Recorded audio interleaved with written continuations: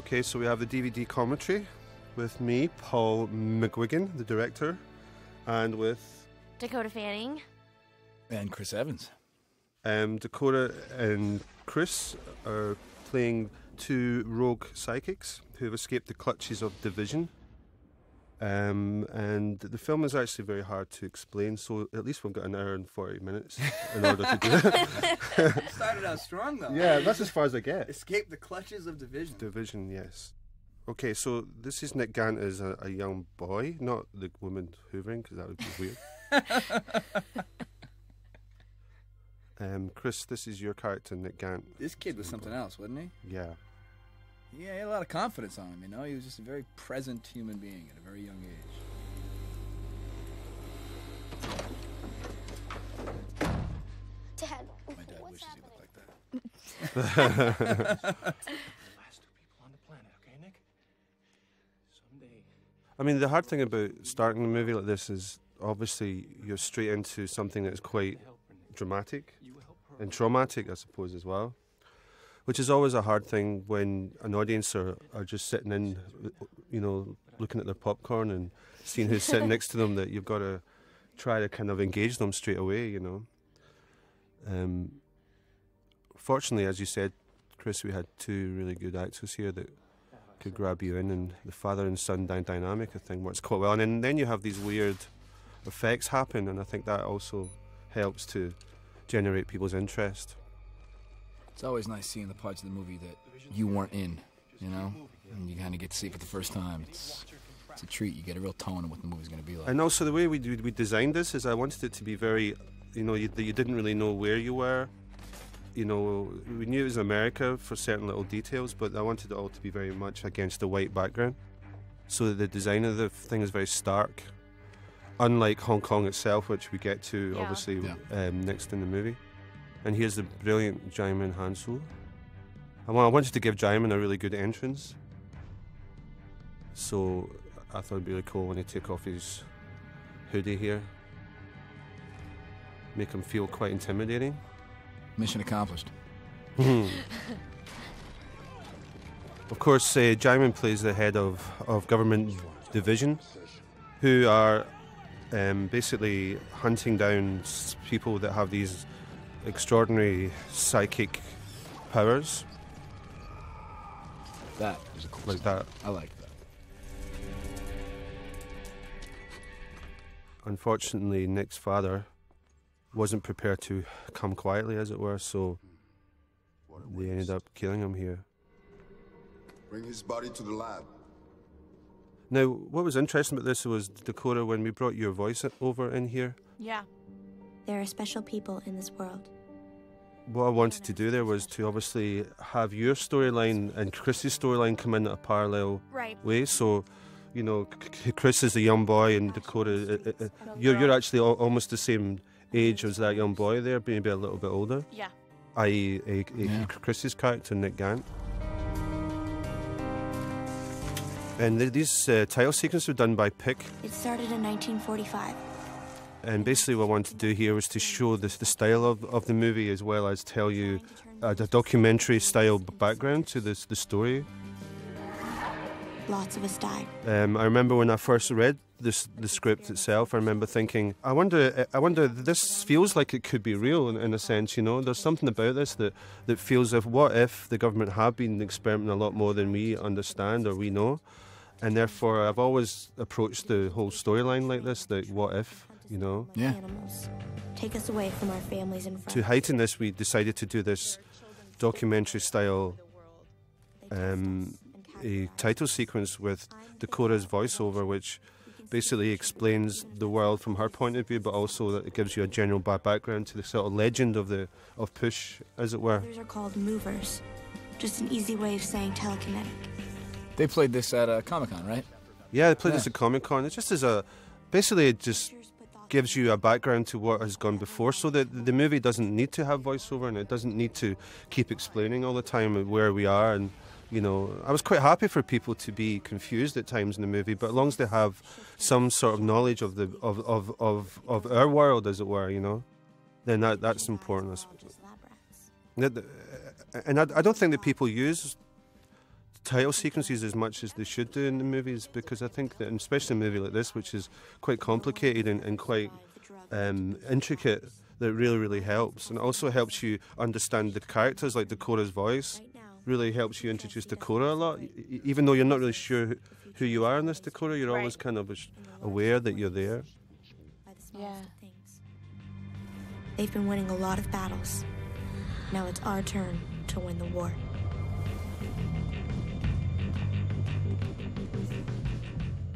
A great sequence too. Again, the color palette. I mean, I don't want to sound too too wank- wanky about this, but No, the I want to hear this. This Yeah, is okay. interesting to me. Well, here we go. As I said, I have notes. no, um, the co- the color palettes in these in beginning scenes were always going to be very cold and, and very grey and blues, and and uh, unlike the movie that, that comes after this, that precedes this, because I really wanted people to to to suddenly get this boost of color when you get to Hong Kong and understand you are in this other, other world.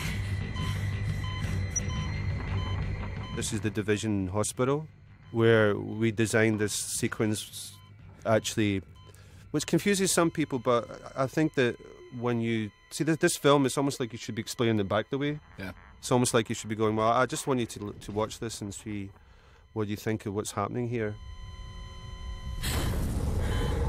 so basically what's happened is camilla belle she has woken up she's just been experimented on and they- they've, they've discovered this drug which is like a like like a psychic super drug which boosts psychic powers.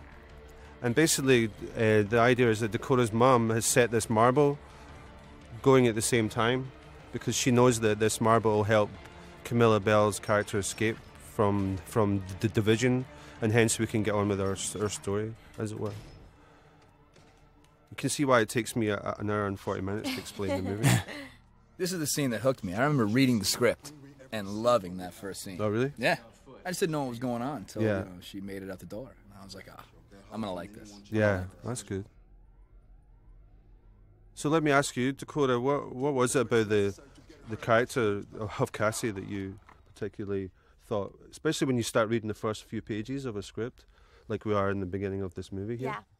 Well, um, what really drew me was that I felt like this character was really.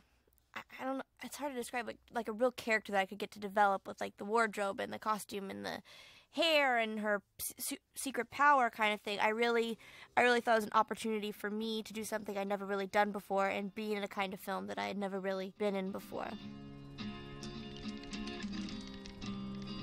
Cassie is a different character for you, and it's funny that she's the same age as you, and Yeah. you know you've now developing into this. This is other part of your career, as it were, as far Mhm. as like showing a different side to you, I suppose.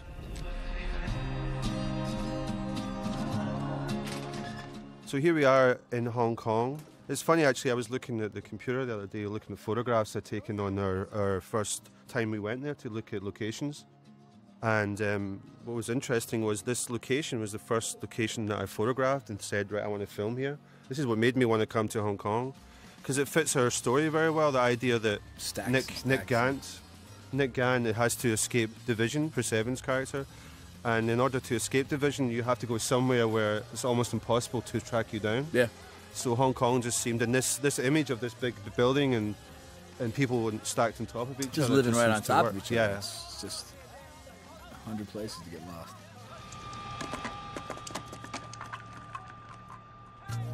Can you remember what you first thought about when you got off the plane at Hong Kong, Dakota? I did not know what to expect at all.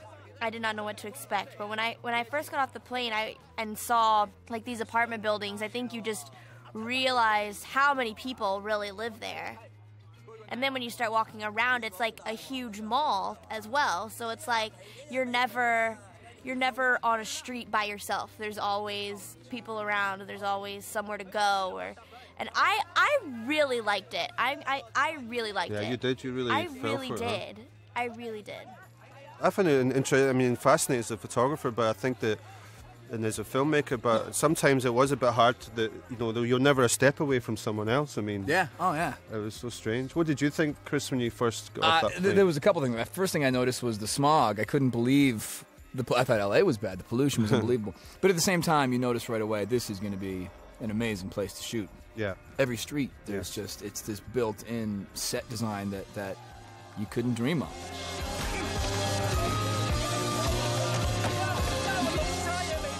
You get so many much opportunities in Hong Kong just to shoot it very. It's always very um, confined as well. Mm-hmm. And I think this shot here, for instance, you do get to see. Wow, you know, here you're in Yeah, a basketball court, and suddenly you go, right, okay, this is our story. We're in Hong Kong, and here's Nick Gant walking along the street with all this incredible um, exotic. Look at that. I mean, that's um, just a great shot. Look at that. locations around. Of course, we shot all this movie in handheld. Yeah. Very little did we put this on a on a sticks. How That was part of the reason I got excited. I remember reading the script and sitting down with you, and and your your your take on it with natural lighting and the handheld camera. It just had a tone that that I don't think I've seen oh, done in this type of genre before. the before. comic book genre. Yeah. How how how was it working with a handheld camera, Dakota? I know you've thought done it was great. I mean, it was you could really just go wherever you wanted. You weren't confined to any particular area, which was really, really interesting. Not far enough. These characters are great. These are, are sniffers. You're great. Chris, They're you want to you want to tell people what sniffers are? Sure. Sniffers are like uh, kind of like psychic bloodhounds. Uh, they can take an object of yours that you've owned at one point or another, and as you can see right now, they'll they'll use their fingers and they'll touch the objects, and they'll get visions in their in their head of where you've been with that object, and to some degree where you are now, so they can actually track you down. Finally, we got a I mean, one of the for me one of the the, the reasons why I took the film as well, apart from I love the script, was also the opportunity to be able to create this visual language through these these superpowers.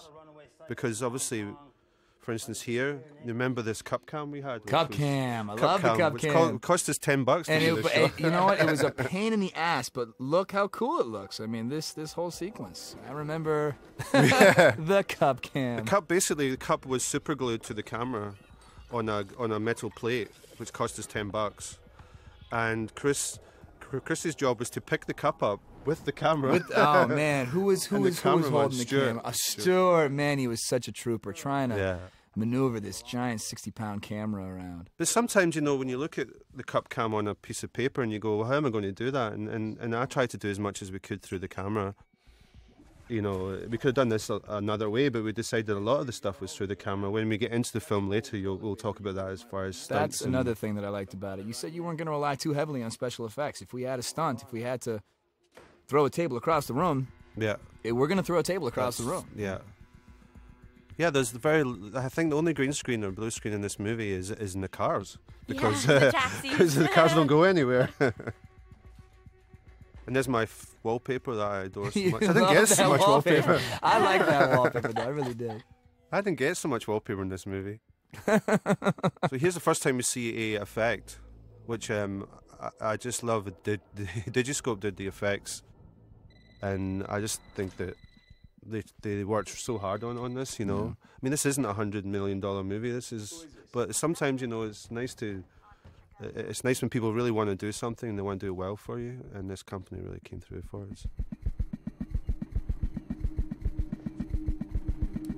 And here we go. It's the first time Oh, here I am. About three feet shorter.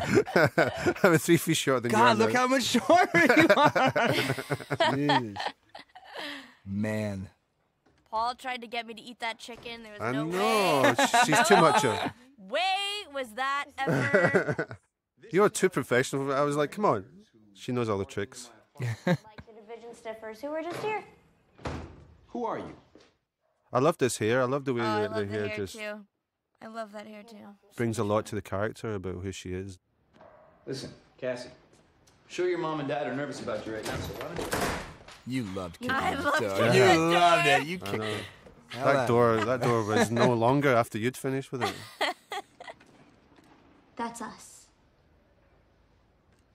And that's our money. I think you'll see as the film goes on that the colours green and red tend to appear quite a lot. But as Chris said earlier, that's a lot to do with what's there in, in Hong Kong. Yeah, the that's true. That's kind of the, the palette. city. Yeah. I'm buying.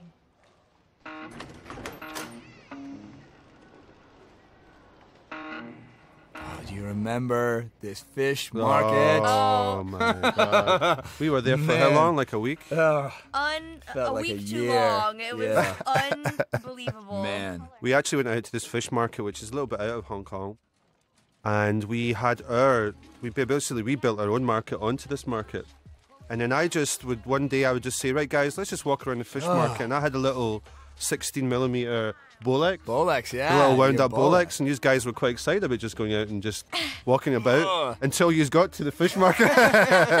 There's the Bolex shots. Those things are great, man. I love those. they just give you that immediacy, you know, and the reality to it just comes in. Yeah. But yeah, this fish market was um, what, what's the word we would describe for the fish market? Active, Pungent. smelly. Pungent. yes, Offensive. Active. Violent. Didn't the guy get Yeah, stick yeah. beaten? Yeah, I got hit with a big stick. I remember, and that was nothing to do with me. No, no, that no, was not my crew. It didn't stop work. People kept hustling. I really enjoy this scene. I enjoy when I was editing it. This is the first time we really get interaction between you guys, and this is when I knew that this relationship was really going to work because I think you, you, you two have worked really well with each other, very good rhythm with each other, and allowed each other just to, you know, because you always had at the beginning of the story. Obviously, you- you're very Chris, you're very wary of Dakota, Sure. character, and and Dakota, you're very much 14 years old and you just want to get it done and your your your, your body language is you get too close to him you you know it's, it's an interesting dynamic This. Get this things wrong sometimes. I know the feeling. Are you worried about the thugs you owe money to?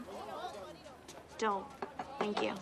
We'll be able to take care of it in a couple days. and of course we always we had to get them to eat noodles well Dakota had Not to eat raw made noodles by the fish market. what do you find difficult about doing scenes like this when you're in a real environment like a fish market because this a lot of this was uh, for all intents and purposes very much really done on on the hoof I thought it was great. That's a question I've actually been asked a lot so far about shooting in Hong Kong. You have a you have a tangible world to play off of, not not a soundstage. You're stepping outside of and, and back to reality. You're in the world. You're in the reality. I'm 13, and I've been told that I look at least 14. Right.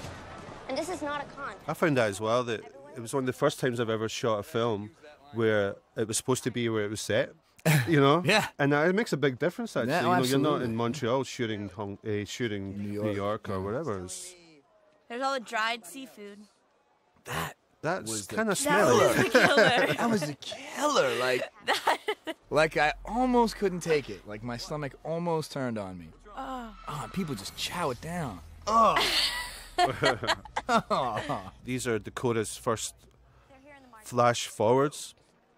And we decided quite early on that these flash forwards wouldn't be very good. Actually, you're, you're, you're, well, both of your powers are pretty rubbish in the movie to begin with. yeah. Yeah. Which I, I liked as well. I like Yeah, that idea where it's not like, you know, you don't have your underwear on the outside. Well, maybe you do. I don't know. Let's not go there.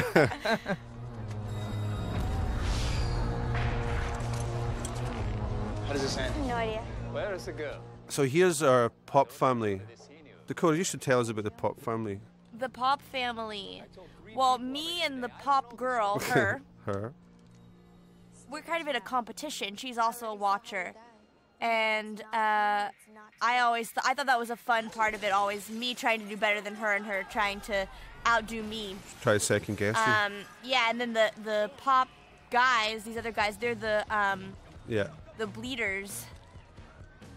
No, I've got to say, I've got to give my, I've got to tip my hat to you guys here because Me. you, yous really, Dakota. you really, both of yous really ran through this exploding fish tanks. People think you didn't do this. No way. Is the shot in Oh, here? I did Is it. that the shot? Oh, I Everywhere. did Where Dakota was hit with shrapnel? it. That's it. hit I just, a I just, I just it. That was it. Poor But that was kind of wild. When I look back at it, I went, wow, these guys really, Yeah.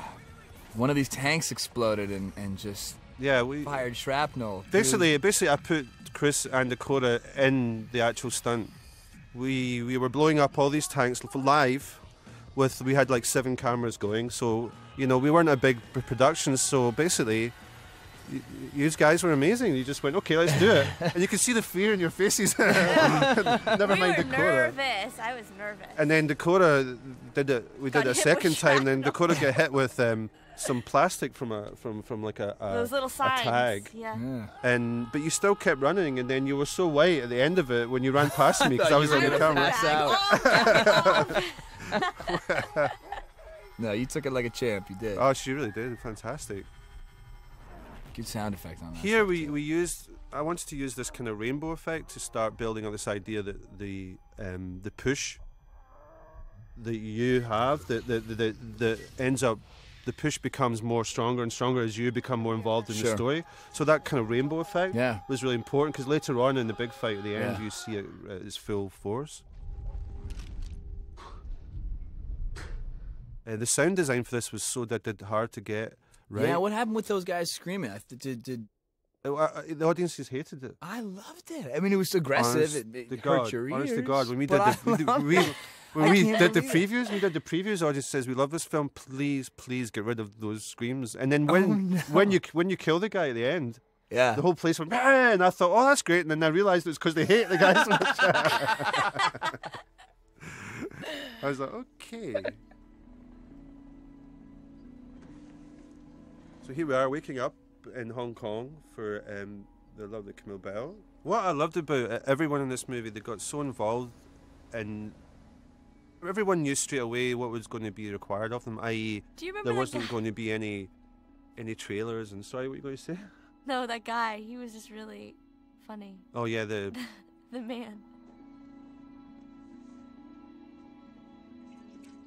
here's Camilla Belle waking up, um, and she doesn't know where she is. We have left her obviously in the scene before when she escaped from the hospital, but she knows that she has to find Nick, and that's all she knows. And she doesn't even know if she's written this, so she's just checking.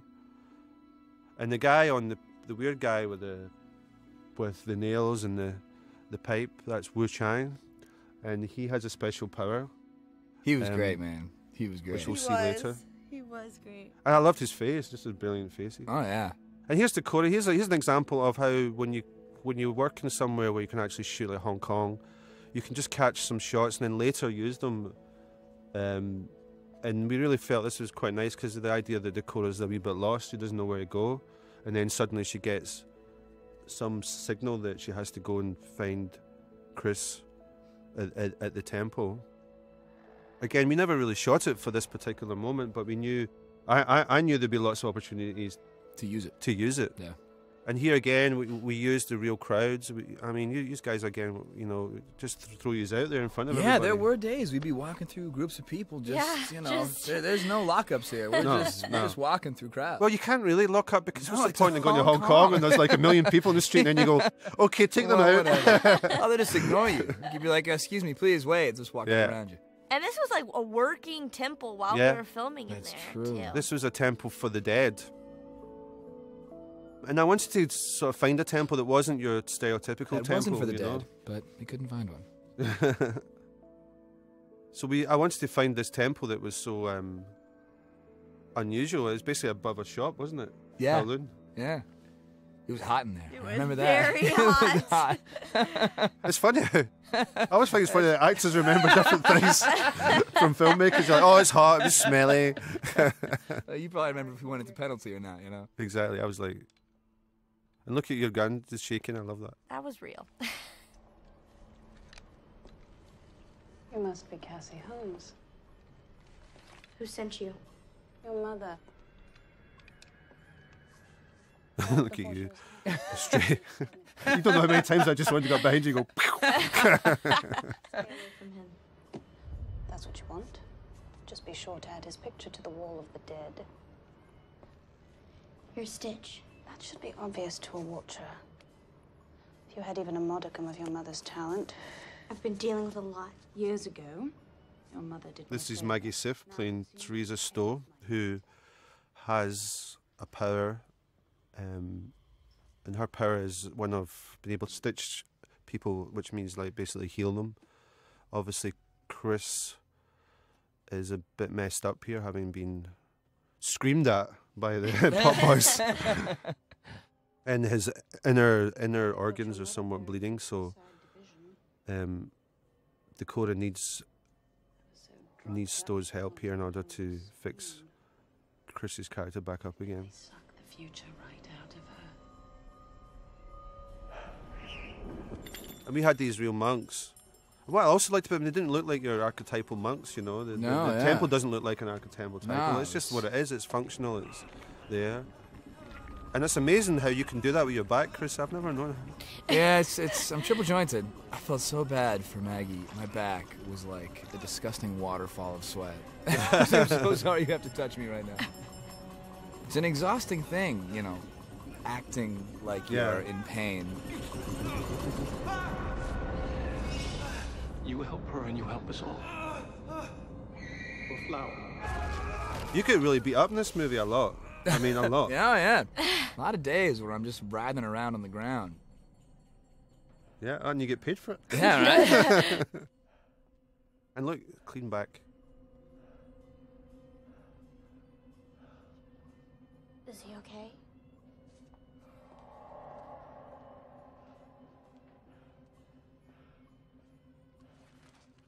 I really like this scene. I like this a lot. The scenes with you and, and Dakota and, and Chris together to me are are what is the gives the movie its, its storyline, gives it its characterization. you Yeah, I like it a lot, too. Because you know, there's so much you can do with visuals and and you know special effects and all that stuff. But you you- you always need a good story. You always need good, great characters. And for instance, I, I just really enjoy this scene. Very simply done. We we didn't do much as far as the camera work was concerned. It was really down to you guys to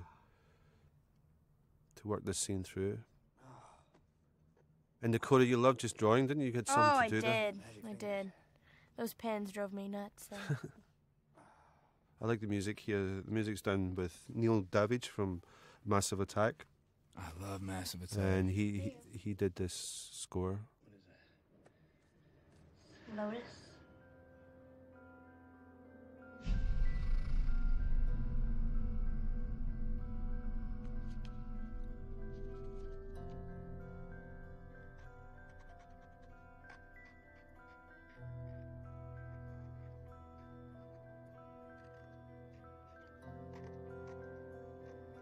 what she said about your mother.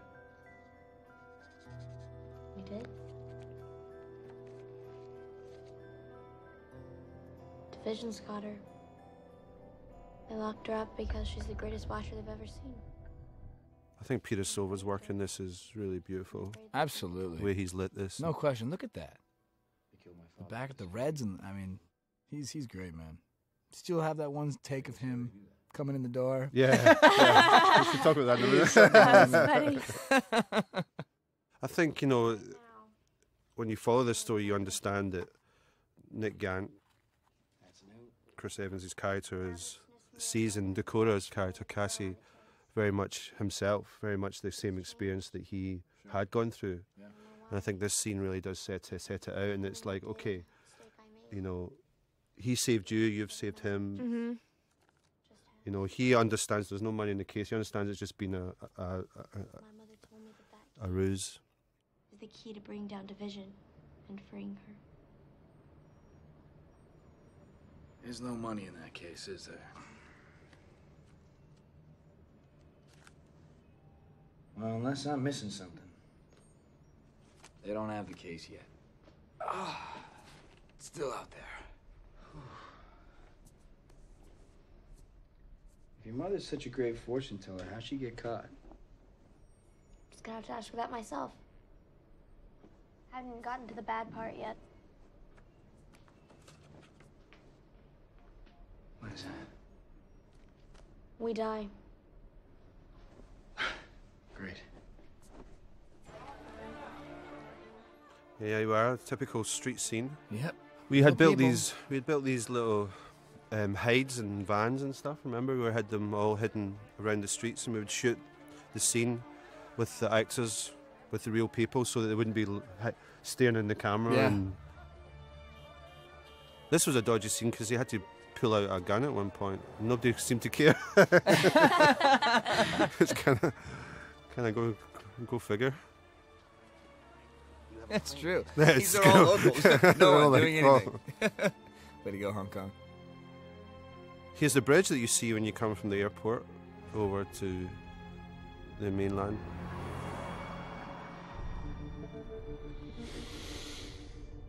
Again, this was green screen. We did all this very highly stylized kind of backdrops and You're foreground. having a lot of lipstick opportunities where you're going, you know what I mean? She's doing it again. Get the hell out of my head! No! What does she want? She's gotta go to the bathroom. Go throw up or something. Carver will kill us if anything happens to her.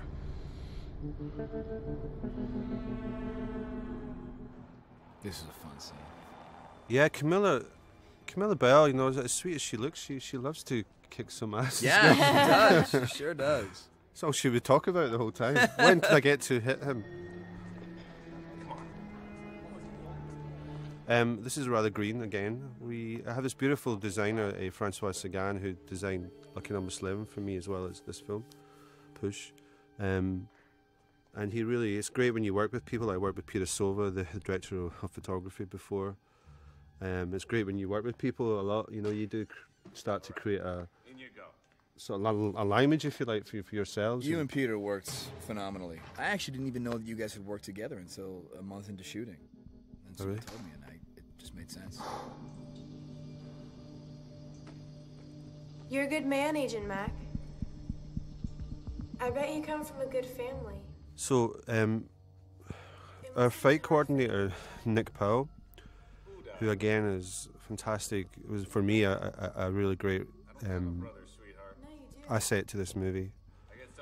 And Nick took Camilla and Corey, who's playing this um, agent here, and took them out and worked with them over a s- place a few days. But you had worked with Nick as well. Yeah, yeah. You just got used. He's great, man. He He's wants to make it little feel as real. bull, Yeah, I mean, he, he really wants he wants the best. He has great ideas. But he was murdered. And you know who did it.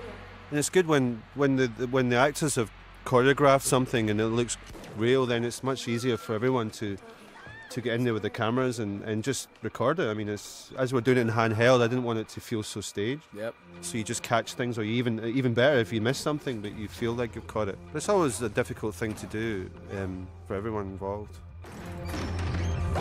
You know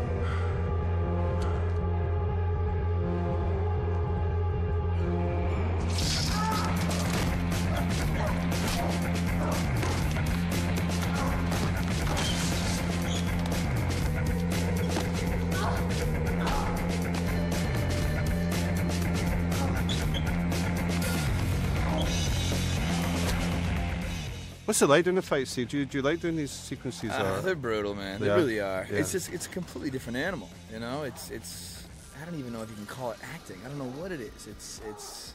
I mean, it's exhausting. That's that's for sure. You're definitely gonna go home with some bumps and bruises and some ice Yeah. packs.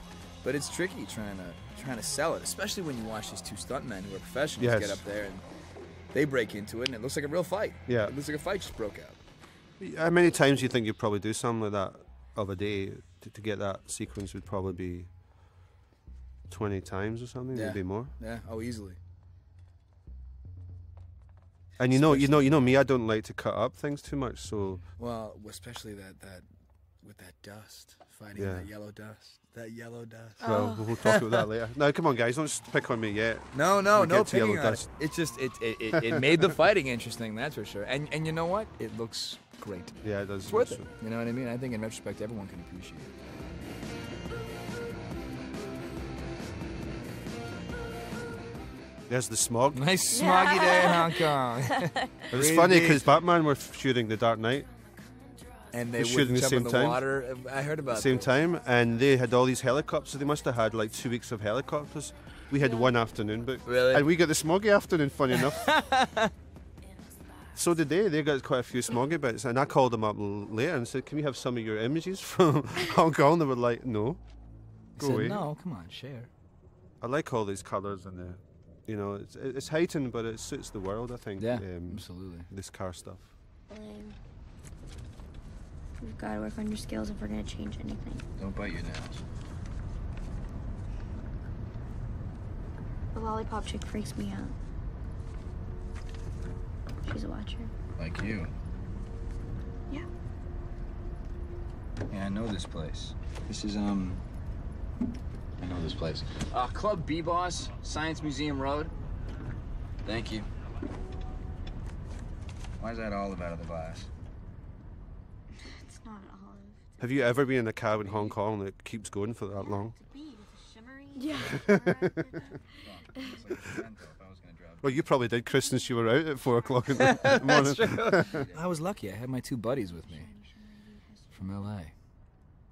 I like this shiny, shimmery bead thing that you you started.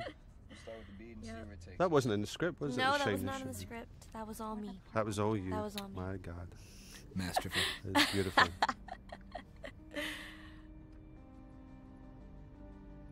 Djimon. Djimon. I'm so- Let's talk about Djimon for a second. Chris. I love Djimon. He's a scary man when he wants to be. There's a couple times when we were doing those scenes in the end where he has to, you know, get physical and throw me around and Yeah. punch and kick. I guess we'll get to this, but man, when- even those scenes in the uh, in the dim sum restaurant, you know, when when he's not happy with himself, when he's not happy with the take that he's giving, it it just gets you see him build and you see Yeah. it you see it just start to boil and and then it turns into magic. But the problem is when you're the one who he's directing that energy towards, it's it's terrifying. it's you don't know if he's gonna knock you out or not. I know he's an amazing presence. You're willing to risk your life on that? Ah, he just commands the set. You know, he just sucks the. You know, I he remember in the Hong air. Kong they had a big thirty-foot billboard of Of Djimon him? for Oh, the, the, yeah, I un- the un- underwear commercial underwear. thing. And um, I remember when my agent came to see me, and he said, "I said, he said, where, where are you?" And because he had just got off a taxi from the airport, and he said to me, "Oh, oh, there's a big billboard of Djimon." I go, I'll be in a minute. It's just around the corner from me. I used to try to drive Djimon by that all the time, just to sort of wind them up.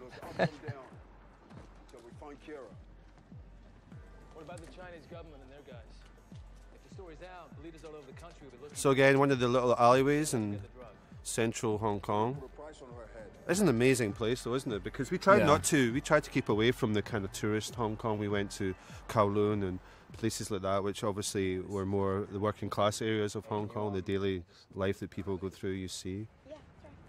I got it. There you go.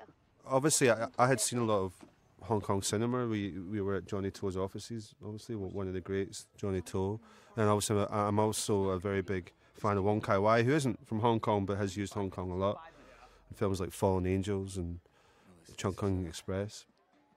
And here's this nightclub which actually exists. I never, I have nothing to do with this design, by the way. Everyone keeps thinking this is me. This And is so just- is what crazy. you know.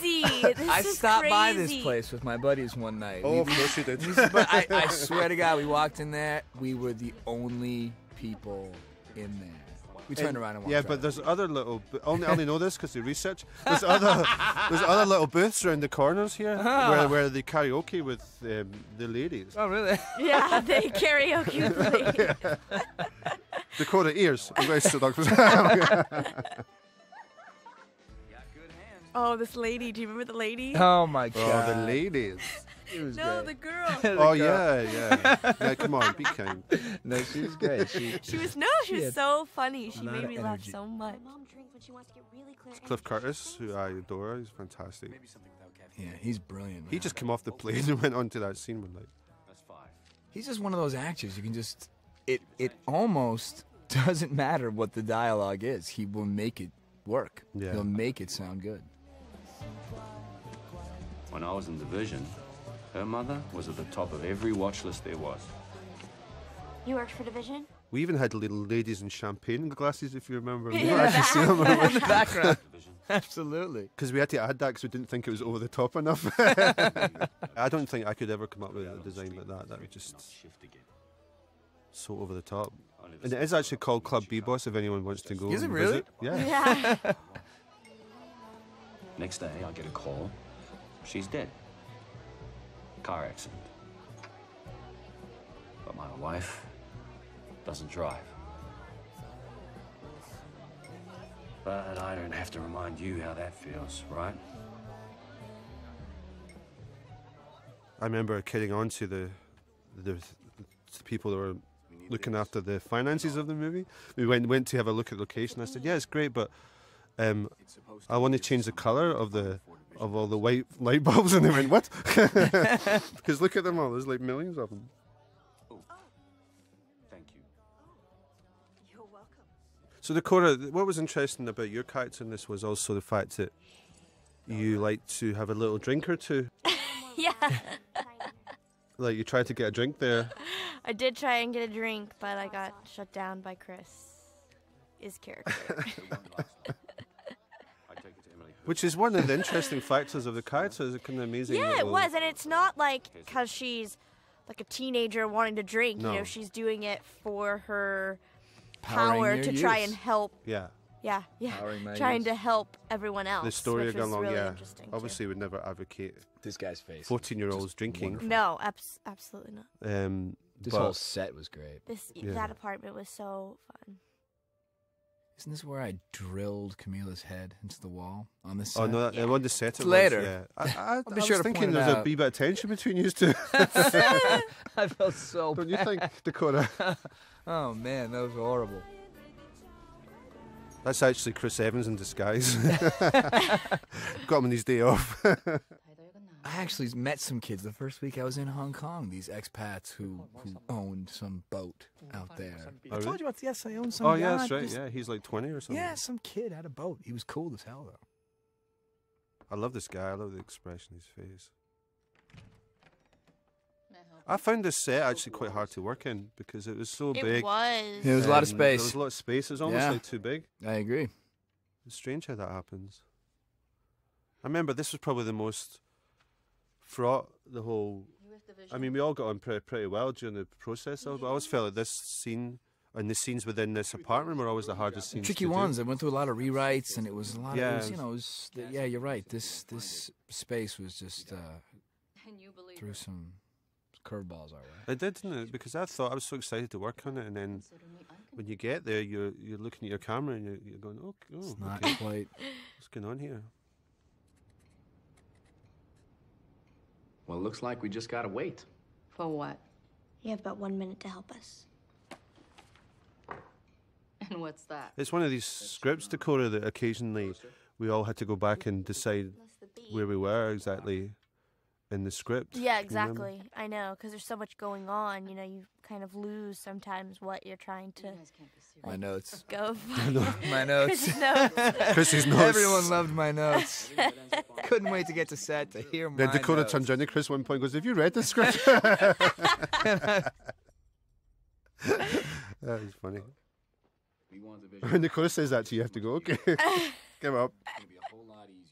No, but you're right. There was lots of moments like that, and quite rightly so.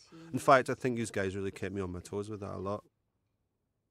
I think when you do a film like this, you've got to have rules, and those rules you've got to stick by because it's easy enough to manipulate the moment because it feels um, convenient to do so rather than for the story. And you were always a big stickler for that, Chris, which I thought Yeah, you was know. brilliant. You know, The stories, the, it's if you you really got into the it. plot's a tricky thing. These movies are always tricky. You know what Yeah. I mean? You want to go back and check and make sure everything checks out. And it's just you know, ends up causing headaches. No, but it's, it's it's the headaches that you should always have because Yeah. otherwise, you know, you, you, you fall down those holes. Then you know. I remember one of the first things that anybody that interviewed me about this film was oh, also, do you really know what the film's about? Because it took me an hour and a half to tell them. But also one of the ones was, you know, you got to have the rules. Uh, do- Have you stuck to the rules?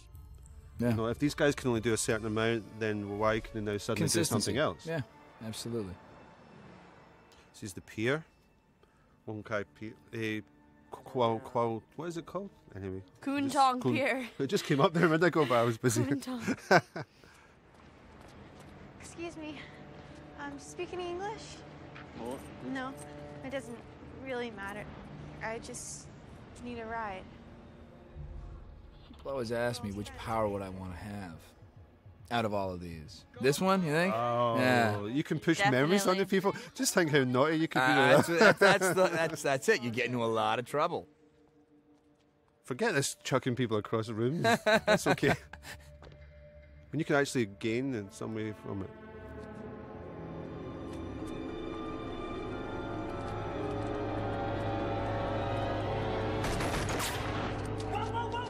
When we were editing this scene, it was difficult for uh, Nico and I to, my editor, to decide exactly how much she shoots at him.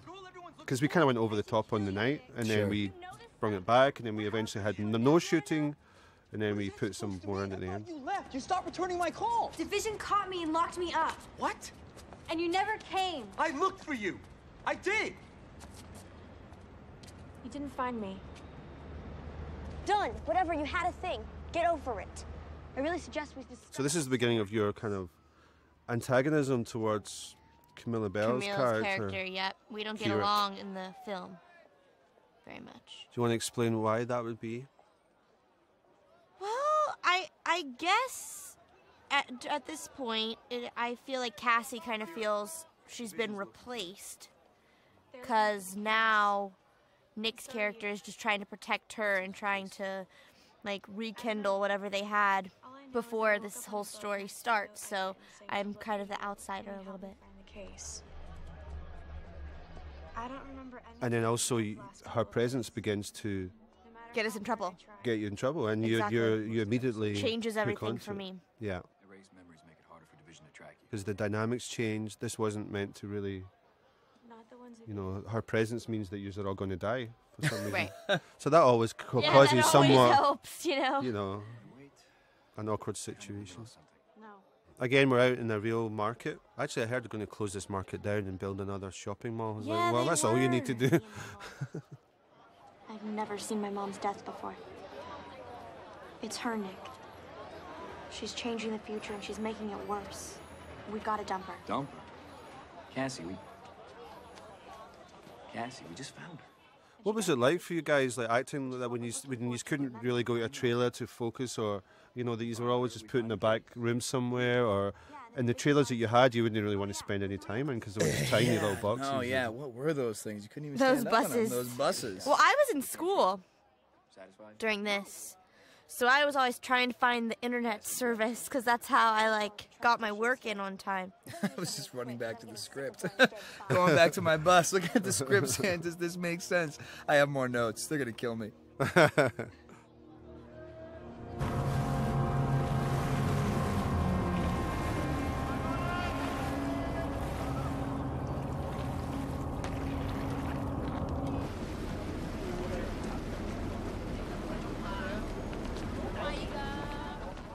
Don't we have, Dakota, don't we have like footage from on that boat?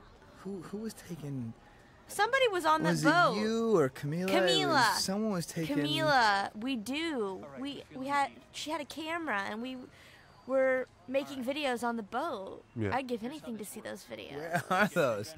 She probably has them. And we had like the, and I don't mean this in a cruel way, but it was just a laugh. We uh, made a comment that they're like the ugliest extras we ever seen. but it was late at night. I've got to say, it was late at night, and we were we were a little bit silly, but it amused people for a second because I was right though. it's true. And here's the brilliant Nate Mooney. He actually got his finger chopped off for this part. I thought that was amazing. He's method. He's He's method. Yeah, he goes for it. I had worked with him before on Sh- in Charlotte's Web. He played Lurvy, and I was um so so great to see him again and work with him again.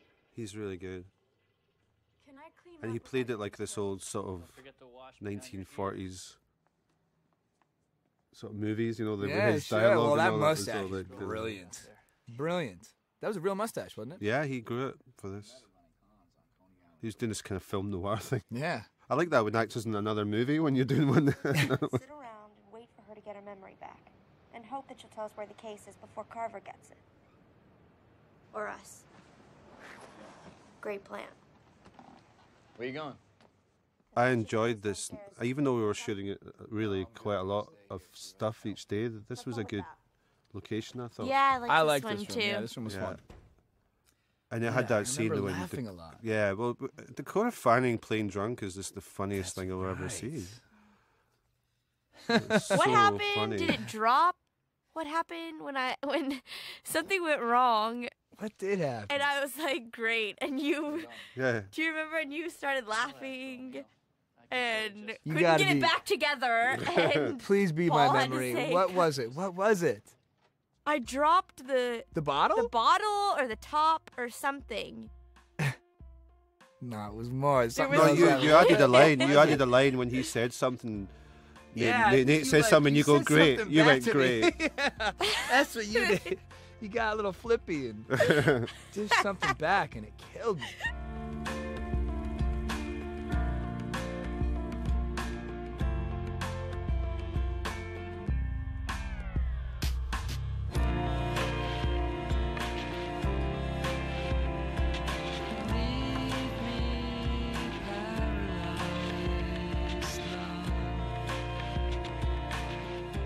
You know, looking for music for this is it was a joy. But you know, quite frankly, we could have put a hundred more tracks in here. But I really felt like I didn't want to do a music video every two minutes. Paul you has an amazing, amazing That was- ear. that's so funny. There are very few people where you can completely trust their music taste. If he had a song in his iPod that he said, "Here, listen to this. I'm thinking about this for this scene or that scene," every time, it was a song that I would just fall in love with. Yeah. It was, you, I've you got got, some you music got for you great actually in my music car. taste, man. You really do. And the Thank you. butt squeeze. I actually had to ask Camilla Belle permission for you. I did not want to. You're do- such a man. What, I how can you want- not stand up and just go, I'm going to touch your butt right now, lady, I lady? needed permission. I couldn't just. And you do can it. touch mine if you want. You could have given it a bit of bargaining thing going on there. My fear was to get slapped on camera.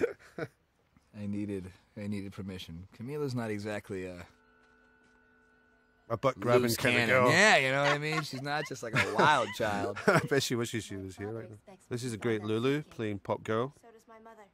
who looks amazing. Clearly, do you? Too many things keep changing.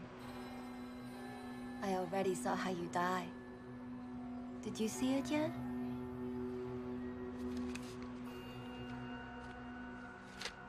You can change it, you know. It's a very simple scene to shoot, wasn't it? I mean, her accent was a little bit. hard. We had to do a lot of ADR here because of the the noises from the the, the um this this alleyway and stuff. Didn't somebody throw something down? Yeah, on us too. buckets of They stuff on it, threw- yeah. They threw bottles. Yeah, it's not that we weren't welcoming. It was just late at night. they would do that in Scotland as well, and worse. Tell him that's the future I see. And then Dakota is going to be an if she, if this acting thing doesn't work out for you, Dakota, you're definitely going to be a, an art director in the movie. Look at that. That's She right. throws that red bag. She says this will look good against the green wall. Oh, oh, here she is. Oh, here she comes. Oh, oh. whirlwind. This is what happens to young actors when they get a bit older. Wait, I gotta figure out what what I said. I'm sorry, I didn't know the procedure for I'm working. Chicky chick was my favourite line. I am working. You. You screw it all up. All right, all right, give me this. What is this? We talked about this, Cassie. Nobody's going anywhere. What is this? You don't this? get it, Nick. She's the one that kills us all, basically. Well, I guess we're all gonna get. Yeah, great. That's what he said. Right? Yeah. That's where it was. Papa better watch her. Yeah, great. No one said anything about a watcher. I can only work Good. so I'm belligerent. And we were all getting a bit tired and and a little bit weary. And my DP w- grabbed the bottle of Dakota, and we were behind the camera, and he, he burst through at one point. It goes like, "Wah," and that went action. Oh man, if you Uh, knew Peter Peter Sova. Sova. I know. Oh, we call him killed me. Champagne Peter Silver, if that makes any sense to anybody, but in the best possible way. Let's let her sleep. Yeah, put over her head. Yeah.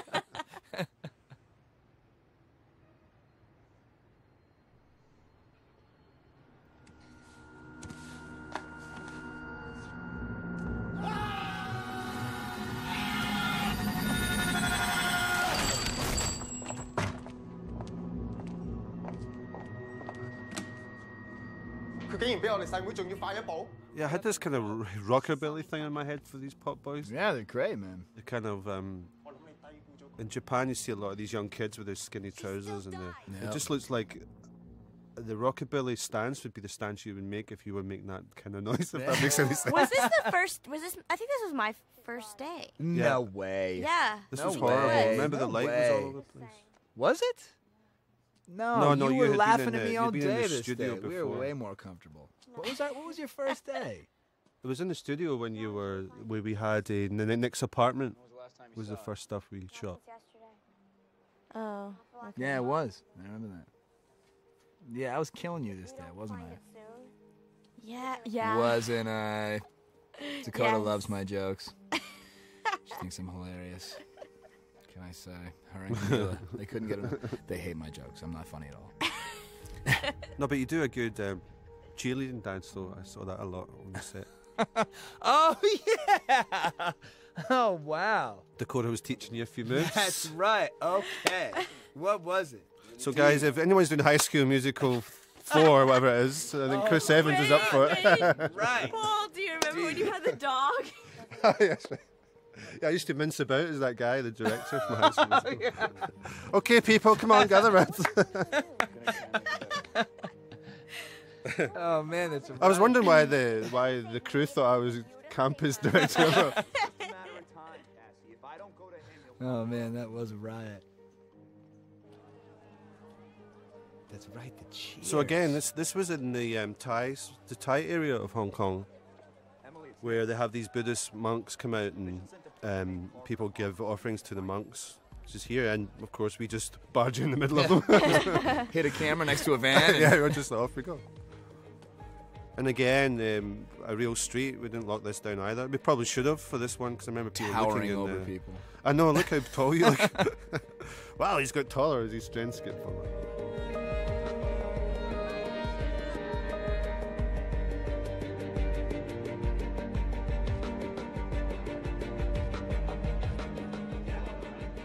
So this is the dim sum restaurant scene, which was quite a big scene for us in the movie. This was so much fun.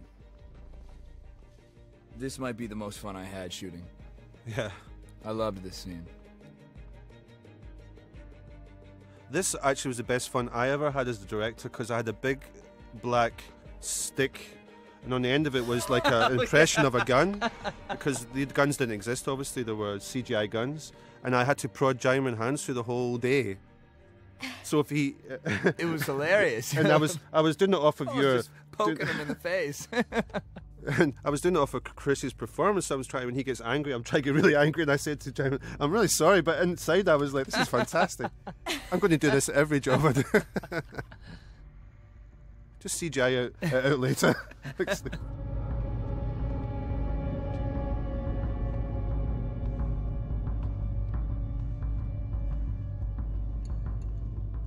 So an unusual fact about this set was actually the floor is real marble Yeah. because it was cheaper to buy real marble than it was to get someone to paint the what marble what effect what in China. house did that? Whose producer? Which producer ended up with that stuff in their house? I don't know. Somebody. It's a lot of nice marble. There was a lot of marble. Food is actually pretty good here. It must have been fun to to do this next to Djimon. Um, Oh, it's fun getting to yell at someone like Djimon knowing that it's not real. He's not going to break my neck in two seconds. So I had to use this prod, this this prod, because we wanted to have the skin moving. So when you see the gun hitting Djimon's head, it's actually me hitting it with the end of this prod. Giggling. so you see his skin moving, and then we put in later the guns, obviously, which I think look great. I mean, we, we really we really worked a lot on this scene. And the movement of the guns, I wanted it to be un- uneven and, and Yeah. kind of all over the place rather than slick. And, because you're really not knowing what you're doing at this point. Yeah, this is still this is still in the early stages. Huh? I've got 20 of the best watchers in the world. When you do something like this as an actor, it must be really difficult though to know exactly how far those guns are going to move or how Sure. intense they're going to move. So you're kind of second guessing. it Well, you just kind of say, "Listen, on every take, I'll give you something different, and hopefully Yeah. something can sync up." We shot a lot of takes on this, I remember. That. But it was because I was we were having. s- I think we were really knowing this was a good scene, and we really wanted to cover it. Kira is our patient zero. And with her, we're going to create an army the world's never seen before. I'm sorry, am I supposed to care? Fine. Fuck patriotism. Bad words, Dakota ears. and you're not going to find it anywhere but with me. Maybe you care. Neil Jackson is the other character in this scene. He plays Victor, who's Tell me something, Nick. Chrissy's kind of nemesis. Nemesis. Yeah, sure, him? absolutely. He's great too. He was really good. He's got a great presence. You guys get really down and filthy in this movie as far as like Yeah. getting thrown around and Yeah. I mean, you did a lot of your own stuff on this. Of course, Chris was going to do the sliding backwards, shooting a gun. If This if I I didn't can- if I didn't let you do that, you'd have we would I, I can it. honestly say this is the most fun I've ever had in any shot of anything I've ever done, and it's coming up. I got to slide across the floor. But we, we had a wire on Chris and shoot a gun. Uh, but he he went for it. He just slid like a, and it's good is. it was marble as well. Oh man, it was great. Look at that. Oh my god, that is so much fun. you have no idea. I could have done it all day. I could have done it all day.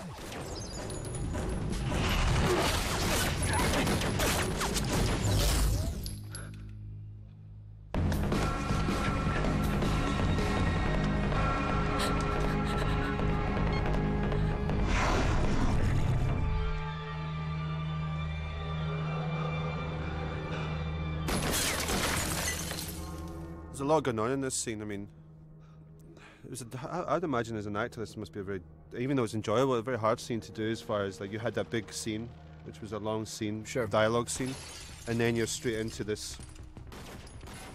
Obviously, we cut it up when we were doing it, but at least the space was quite nice and quite big to work. It was great. I actually, I, I, I, I didn't get sick of this scene. We were there for a, a long time. Yeah, we were there for quite a while.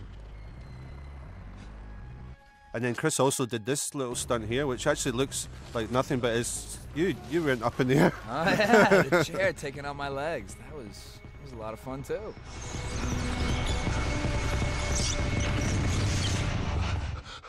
And it's the, that's an ability you've always had to go forward like that on the ground. We had this amazing um, Australian stuntman who was brought in for certain shots like this one. And when we actually threw him against those those pillars, that was the real speed. We haven't sped that up. No, I mean that's that's. I remember seeing the tests on Yeah. those laptops and saying, I can't believe they're gonna do this I with know. somebody. I know. And I actually, to this day, go back to the edit suite and I go, I want to check the frames per second on that shot because that looks It's unbelievable. It looks so sped and he up. took it like a champ, man. We had some great stuntmen on this. We really did. You already know the ending to this story. You can only draw it so many ways. So this scene here, Dakota, let's talk a wee bit about One this. of my only uh, scenes with Djimon. We actually wrote this specially so you could have a scene I with was Johnny. so happy because I really, he's always been one of my, someone I've always wanted to work with. So it was great. Hurting you will change the future. And I like how this future goes. Very intimidating figure when very he's over the top of you. Look, you got a little tear.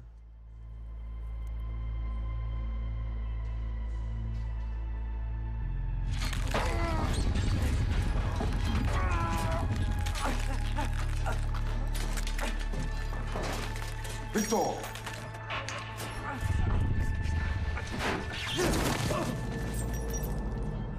and then he just drops you here. it's funny we when we were editing this this scene, this part of this scene here, we actually went straight from Victor walking slowly to you guys going down the hallway slowly. But then,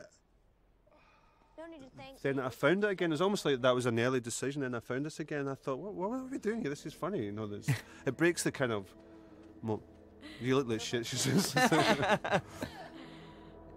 Chris had to perfect that limp. I know. He's You off the know? top, you know. You just gotta think about all the. a Did, did you miss out know? that day of limp acting? Isn't it I'm the worst when someone gets beat up and it's just a limp? A lot of things happen. Why is like the limp the standard thing that happens? You safe? She's sick though. Pretty bad.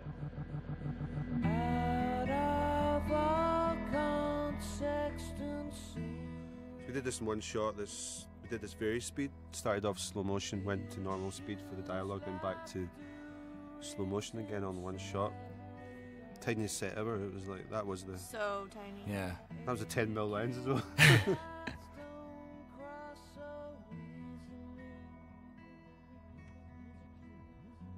you know what I remember about this scene, and it's terrible, and I sound like a real name dropper here, but I'm not at all.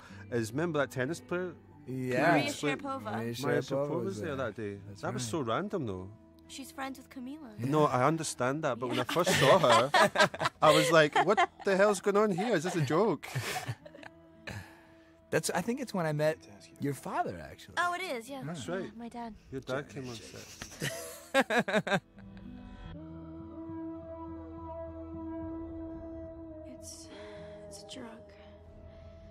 Some sort of psychic steroid that boosts our abilities. Your family are amazing, actually. They they really Thank you. travel around with you with great My humor mom, yeah. and incredible um, insight into the script and into your process and everyone else around them. It's, it was quite amazing. I mean, they've been with you for the whole. Yeah, my mom always goes with me. My dad comes to visit. but yeah, they're you're going to be as tall as your dad? My dad, he's tall. My dad is six three. Your dad's a big boy. He's a big man. He's a baseball player, huh? Yeah, he was. Is she okay? and smash her out on the door. Yeah, he smashed Camilla's. He nearly. I mean, that's. It, it was. It was an aggressive. It was an aggressive knock. I felt terrible. So, Camilla's character has the same power as Djimon Hounsou, which is basically um, she can push memories on people. Memories being, you know, we're old friends. You need to give me a lift to um, put the gun in your mouth. You've, you've, you've checked it. It's it's not loaded.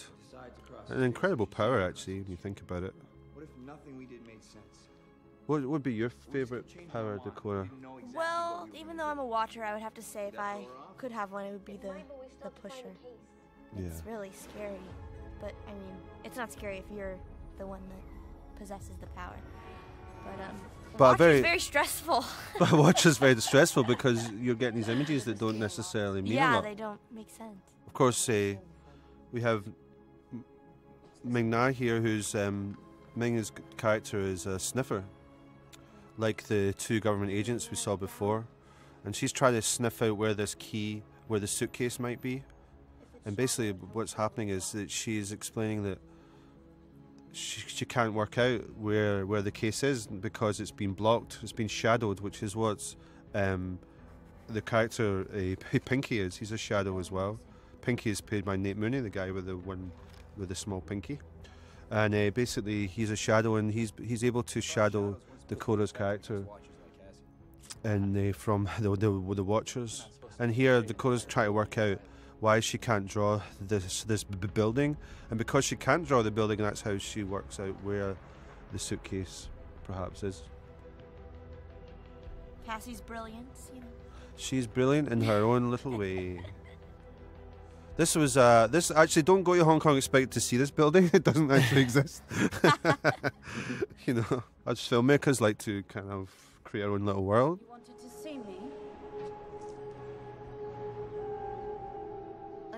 Again, another complicated concept, I suppose, Chris. The idea of how we can discover that the building's there and it's not there. You know, I think I think we c- explain it quite well, but it, it could be. That was another thing that we always felt was quite complex. Sure. A, a, a concept Yeah. in the movie. Oh. Well, how are we going to make the future unpredictable? By not knowing what we're gonna do until right before we do it. It's like A plan without planning. Yes, right. Okay. A plan without planning. Brilliant. I'll write letters. Brilliant. Each of you, giving you specific Really brilliant. Nick's a smart guy. Until I tell you. So basically, this is the part of the, Then the the film that becomes like a to myself. like a mystery, like a thriller. I like that part of it where it becomes like a con game where you're trying to outwit people that are chasing you. Sounds like a great plan. So the idea would be to that you you write out your plan, but then you get it wiped. Yeah. The way oh that Camilla got her mind wiped, You need to know the exact so that nobody can track down what your plan actually is, and the rest of them don't know the plan because they all have a separate part of the plan. Easy. And of course, Pop Girl is trying her best to track what's going on here because she has the same power as Dakota has.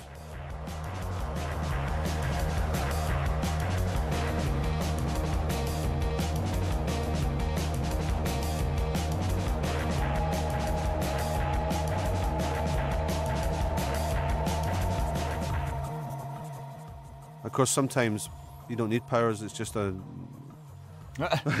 It's just- the. Heyo. Hey.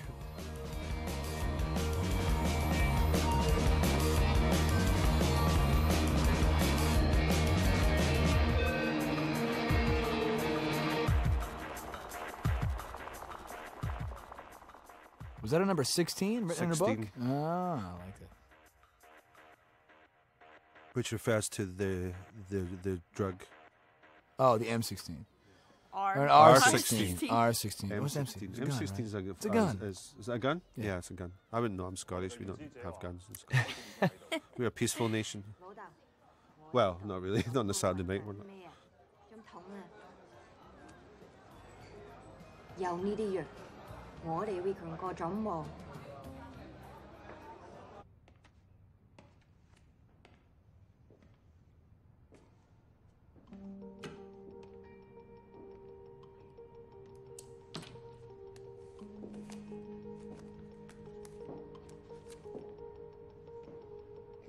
Die unless she receives the necessary injections.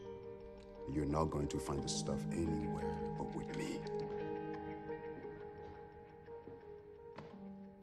Of course, there can always be a plan, but then there has to be a ultimate decision of what's going to happen between you and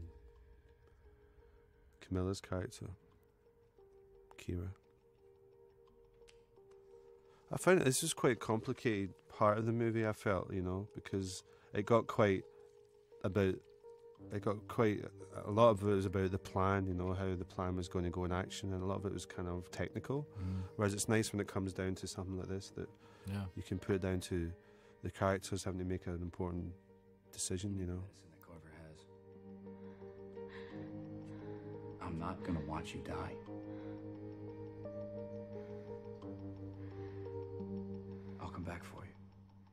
We also try to find a lot of, in, in musical terms, we always try to find musical themes. So there's like a, there's like a decision making theme and a, a theme between two characters, you know, that then reverts, it reverbs through the, the movie. Like later on, you'll hear that theme again coming in when he goes to get her. Yeah. And it helps the audience really identify with the characters in the moment, the time. It's gone before. Poor Camilla had to look like rubbish for the whole I movie. know, most she of just got worse and worse and worse. She took it like a champ, though. She did. It took a while.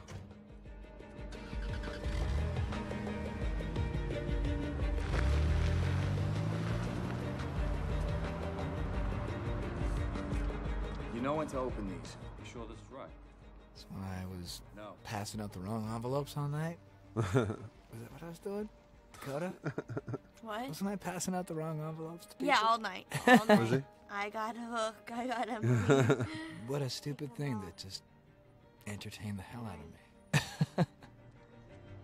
You be careful too.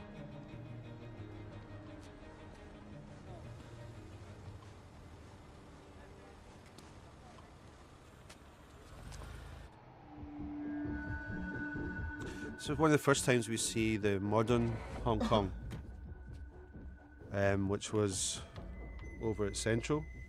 Remember, it was across Sure, from the yep. hotel you guys were staying at. You make us chase you halfway across the world, then you let a hack like Pickenstein bring you in? I'm sick. You're sick? You don't know what you are. We had to get the people to leave the lights on. I remember because at 12 o'clock they switched all the lights on. We were desperate to get finished before 12. All the lights went dark. So this for me is when the film starts coming into its final act. Basically, when we're getting down to the the plan coming into action. And Dakota, where were you for all this? Where was I? where were you, girl? In school. yeah.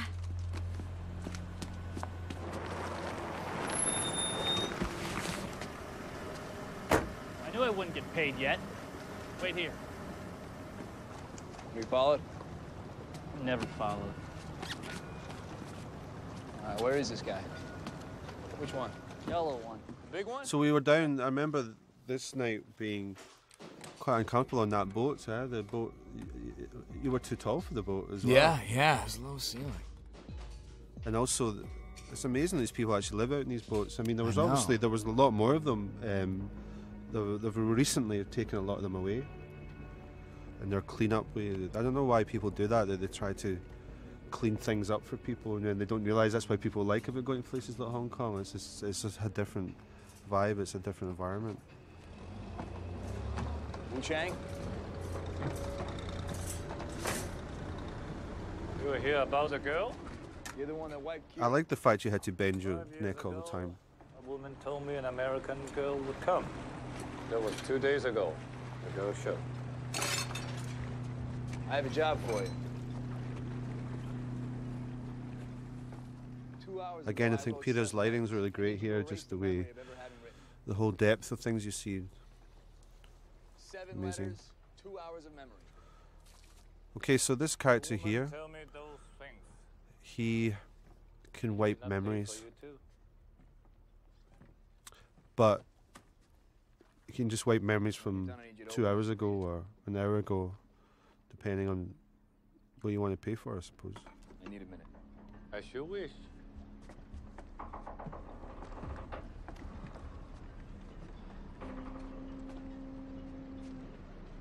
not gonna wake up and forget who I am, am I?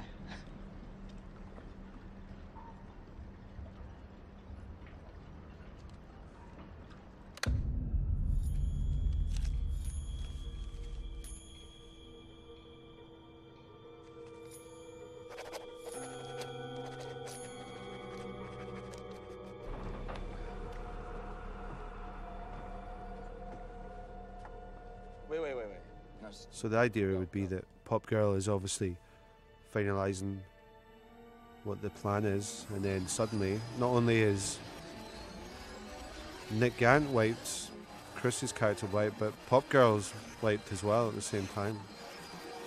All that information just gone. The genius of the plan.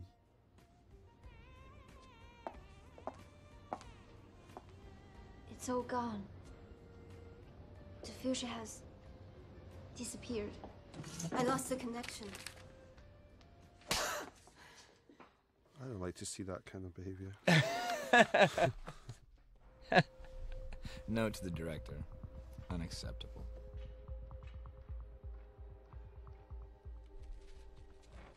This guy was great too. yeah, there's lots of great character actors in Hong Kong.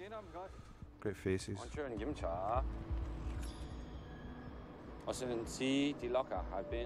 They're building all these skyscrapers everywhere there, are Yeah, I know. Unbelievable. The city's going straight up. And that elevator, did you have to get in that elevator? Yes. Oh yeah. That was scary. Yes. We went right up to we went up in one of those elevators, a service elevator, eighty floors.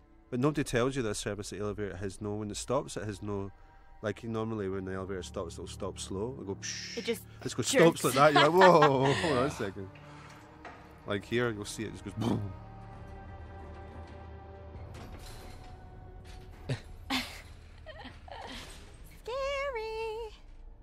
So what we did here is we basically this this is leading on leading up to our where where our final showdown will eventually happen in the movie, which is in the top of a skyscraper. What we did is is a mixture of a real skyscraper which was getting built, and then we went onto a set which was in the studio in Hong Kong, which we'll talk about a little bit later because that set has become infamous amongst everybody for various reasons of smoke and dust and throwing with people around. Long days. Long days. Long days. Long hours.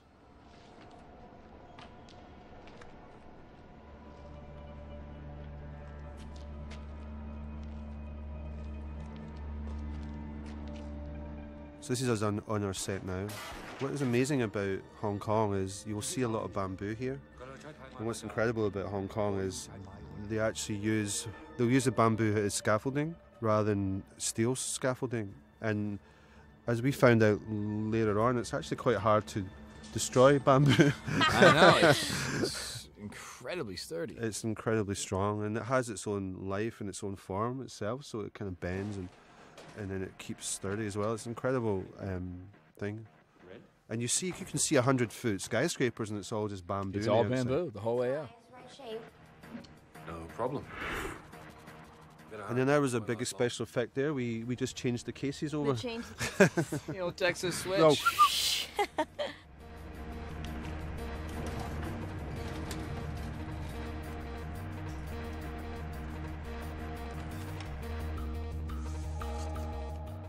I really like the costume you you had, Dakota, for this. I mean, you you basically chose this yourself a lot, the, especially that that riding jacket. Yeah, this outfit. I mean, you had to pick something that you could be in, you know, for like two and a half or three months. Yeah. You had to pick the right thing, you know. But I really liked it because I thought it was. um I just thought it fit Cassie. Yeah, and because I have the outfit. I have it at home. Oh, do you? Yeah. Because she's Yeah, kind of she doesn't have that control system, and she doesn't have she doesn't have anyone to tell her what she should She wear. just so does she whatever just- she wants. Yeah, you and know? I like that Throws it all together. That's often um, a process that I suppose people don't really understand it, or, or, or would ever think about. That it's quite a, it's quite a difficult process. Yeah. Costume, I, I, I feel. Whereas with Chris, you just put him in jeans and. Throw Don't him worry, in he's jeans. fine.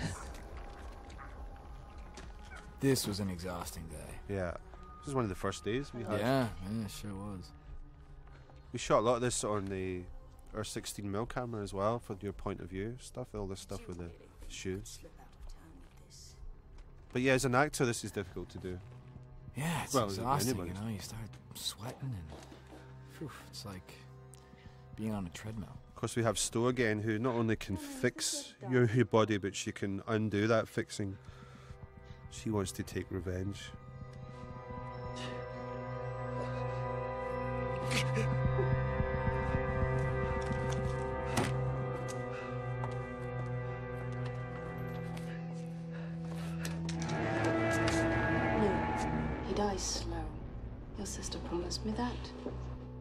Great deal of money.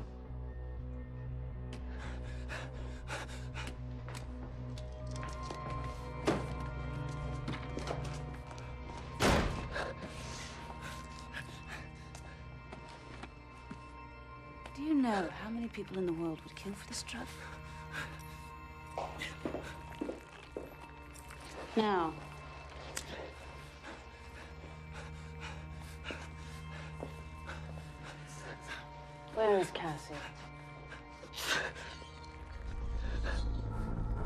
Get me back on my feet. Booyah.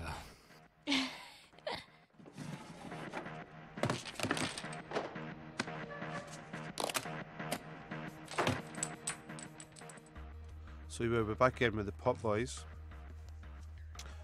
who think that they have the drug, but then the drug It's soy is soy sauce. Bum, bum. Because face is red. Hook has changed the soy sauce, eh, the the drug, and he's shifted it to make it look like the the syringe, like he did with the when you saw him with with the earring, which turned into the the pearl, and the case, you know, went from black went from red to black. And shifting is an interesting little power as well. Yeah. See if that will make him love you. But you know, if you're shifting cash, m- money, paper into money, which is kind of nice. But if it turns back into paper pretty soon, you can only go to that bar maybe once or twice without That's- getting caught. Notes I'm supposed to tell you the division has Kira 216 Batang Street. It, it said a lot on there. Was everyone's that complicated? I knew you could handle it.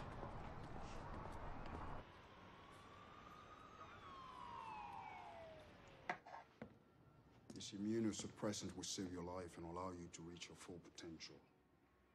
I think the, the one of the one of the hardest things about making a movie like this, which has a lot of technical backdrops to it, background, technical to speak to, it must be when you're acting that, you know. Like when you heard him saying this immunosuppressant, or you know, da da da, and there's a lot of there's a lot of that kind of stuff here. Don't you think? Yeah, I, I just found it more difficult to remember what you know when you know it. You know what I mean? Since there is so much about memory being erased and, and people being able to, to, to, to know your thoughts as soon as you think them or plan them. You know, I decide to cross the street, they see me walk the street. It's it's it's difficult keeping those ducks in a row. It's not just your plot line. It's it's a lot of balls in the air. You volunteered, Kira. I was against it. But you were certain you'd be the one to survive the drug. I had to support you. After all, we were partners. Then you panicked. So there's a twist in the tale. There's a lot going on in this film. Huh? There's a lot going on in this movie. Yeah, yeah. For so long without any training? I mean, I often wonder, is it too much? But then, I, I think you just have to give up. You have to go. Well, I would rather have a film that that, that, that has people asking questions. I'd rather questions. have a film you have to see twice than one you can predict by by an hour in. Yeah.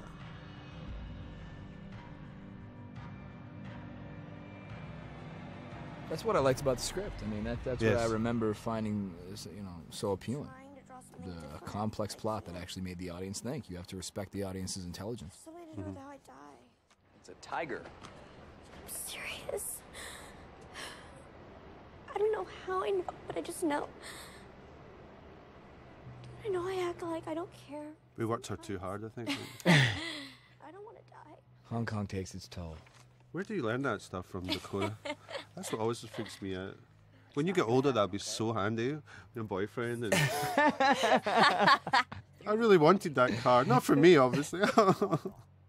That'll get you out of a lot of tickets.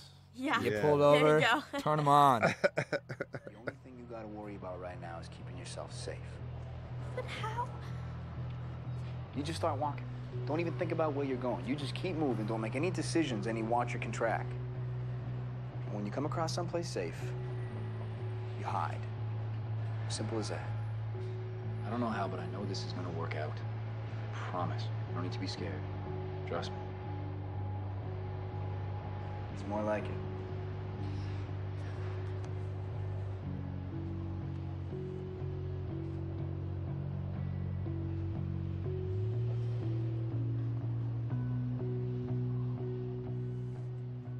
That's about as sentimental as the film gets, and Yeah. it's not Yeah, even it that is. sentimental. She's about five inches taller now. What are you gonna do? I can't tell you.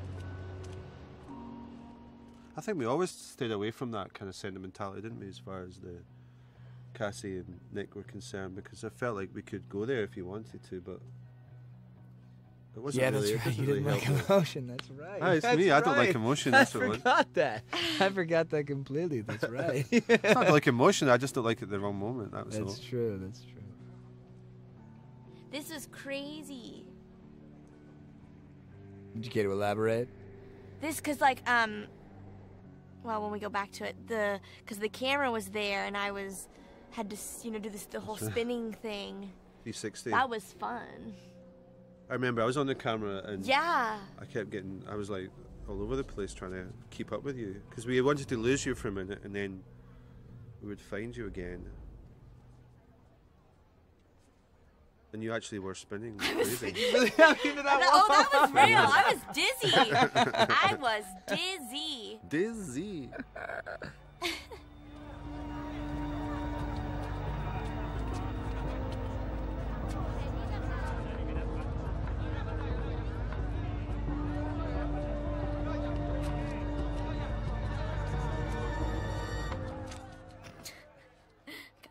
Rammed into.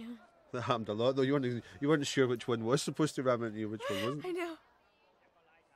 And the hardest thing about doing those scenes in the street was obviously sometimes you get blocked completely because Yeah, because the people and you get behind a tall guy, you can't get can't get away. the tallest Chinese man. Sorry, I don't mean to.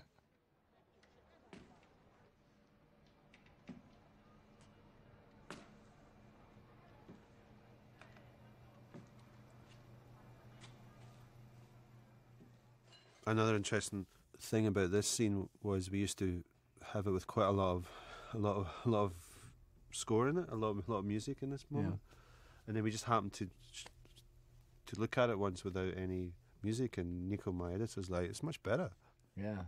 because you don't really know. So you've seen your own death with a tiger. You think it's you that is getting Yeah. mauled by the tiger. Of course, you see the tiger and you put two and two together.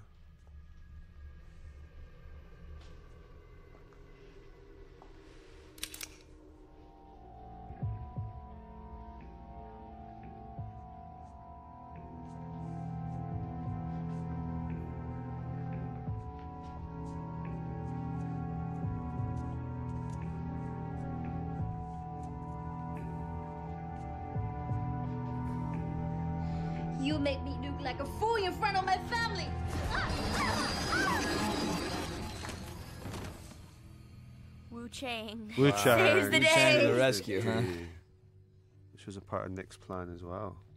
Nick's a smart guy. Some people don't understand that that you because you asked him, "There's a one for you as well." Right, right. But we didn't really.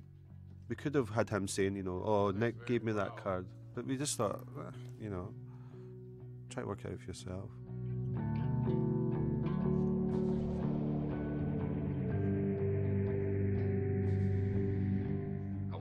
Chris Evans does his own soft focus as well. if you've noticed that. I did a lot. A couple of these scenes in the corridors. I like corridor scenes. Where Yeah, you do. You get in. This, well, it's an opportunity to get inside. into the head of a Yeah, character. Give him a little bit of moment there, a little quiet.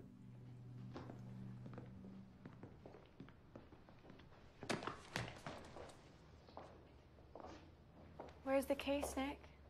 Kira. There she is. There's the Camilla Belle. Go ahead.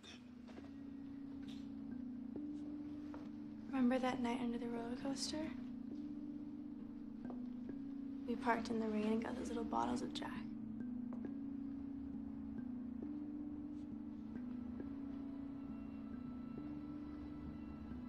That was the first time you told me you loved me. He remembers. To hear it from him. I remember. Never happened. We met for the first time yesterday. You've never been to Coney Island. Nobody's Who been goes to to Coney Coney Island. Oh, nobody's been to Coney Island. I've been to Coney Island. I was like, I like Coney. Island. Now, the quicker we find that case, the quicker I'll let you forget it. This is what really grabbed me in the script. This scene. I remember I was really enjoying it and really liking it, but I loved this little twist at the end. Yeah. That it, it kind of hooked me as, when I read it first. It's for you. Well, just as soon as you introduce the fact that there's a power that that can shift your memory, you know, you, you can put your thoughts into someone else's head. You know, all, all rules are off. You know, Which makes it complicated it, as it well. makes 'cause it a then you're- complicated story, but but it's surely an entertaining one. Okay, so we're getting to the final showdown of the movie, which is when the plan is all coming to a head. We we designed this this um, final showdown to be in a skyscraper, an open skyscraper at the very top of the skyscraper. The skyscraper you've seen before when um, when Cassie figures it out that the skyscraper where uh, the case is, the key because she can't draw it, so you see it. Basically, it's always nice before everything starts, when the shit starts hitting the fan, that you can actually have a bit of quiet and you're with the characters. I think that the thing I learned about doing this action movie, and I've never done an action movie before, is that the action can't just be about the action, it has to push the story forward or it has to have story elements within it. Um, which is why it's great to have people like Chris Evans and Camilla Belle and Dakota Fanning and Djimon Hounsou, obviously, who can who can do that. Can you know who who who are who actors within this action. Um, it's very very important, and you can sometimes forget that when when you're directing action sequences that it's more about getting the action right. And also, I've got to say that Neil Jackson, who, who plays Victor here, was very comfortable with Victor and the role he had playing, which was very important. Was a quiet role, but he was a very physical actor, a very good actor indeed. It was in actually the Quantum of Solace, the Bond movie, where he got killed by Daniel Craig. I think it's important when you're making this type of movie, a comic book movie especially, or a movie in this genre, that you know the action is somehow fresh, or it feels fresh, or it feels right for the movie that you're making, rather than oh, it's like an action sequence that I've seen before, or or I'll, I'll attempt the action sequence from a certain movie. That you have to really think a lot about how you're going to stage your action. You've got to think a lot about the choreography, which um, which you do with your second unit director and your, your fight co- coordinator, which is very, very important. And also where you're going to stage the action and the, the action, the, the, the, the location of the action has to serve everything that you want to achieve. So here we have this empty skyscraper building, which is actually on a set in Hong Kong. Uh, uh, this is a part of the studio which wasn't built yet. So that that was good for us. So it looked like half built anyway, and then we, we built all this the bamboo structures, uh, which took us a couple of weeks to build. As you can see when you reveal here, when all the lights come on, that you see the scale of it. You see how how big the um, this particular location is. And so anything could happen because you know you have a lot of people with guns in their hands, but you know one man shooting a gun looks the same as another man shooting a gun. So somehow you have to make all the gunshots feel um, important and feel like they're a part of the storyline. We're not much for diplomacy these days. Obviously, guns are, are, are quite a. Uh, there's an alien thing to me. I'm from Scotland. I don't really understand guns, and I was a bit uncomfortable with using um, um, a minor like Dakota holding a gun, but she never shoots the gun in anger. That's why she throws the gun in the market, and it's also why she never actually shoots the gun in the film because I don't think that's particularly a smart thing for people to be doing. so picking up guns, it's a part of our story. It's a part of the world that we've found ourselves in, and it's not. We didn't want to. I was quite adamant I didn't want Dakota shooting that that gun, and and she was also very adamant about that also in her family, which I think is responsible.